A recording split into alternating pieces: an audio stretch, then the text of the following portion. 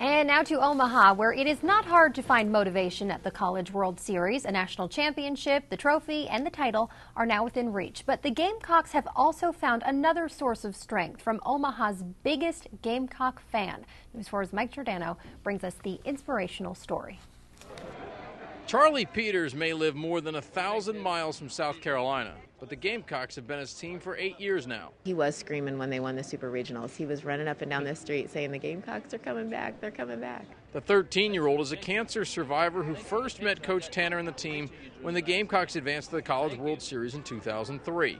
He's visited with the team every time since. Tuesday night, Charlie was invited into the dugout during the game as an honorary bat boy, watching the Gamecocks topple number one Virginia. What was that like? Um, it was, like I said, it was a lot better than sitting in a seat and just watching from up there.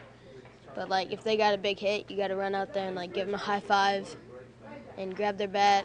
It just shows that this is not just a publicity stunt on their part. It is truly heartfelt with Ray Tanner and his team. We're just happy that we're able to, to be a part of their lives and and hopefully we brought a lot of happiness to their lives. Since last year's championship, Charlie has redecorated his room.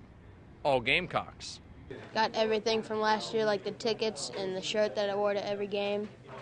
And it's the color, my room's the color of dirt, like for baseball. Charlie will again serve as an honorary bat boy Friday night. Asked if his Gamecocks can repeat as national champs, he said, I don't have any reason to believe they won't.